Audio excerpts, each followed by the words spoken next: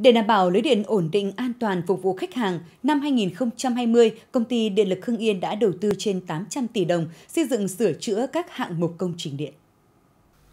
Trong đó, ngoài sửa chữa 16 hạng mục đường dây 110 kV, 17 hạng mục đường dây trung thế, trên 40 hạng mục lưới điện hạ thế và thay thế gần 1.700 cột hỏng, thấp, không đảm bảo vận hành, công ty đã đầu tư xây dựng 66 công trình xây mới đường dây cáp trung thế, dây cáp ngầm, thay thế tủ hạ thế, tủ trung thế.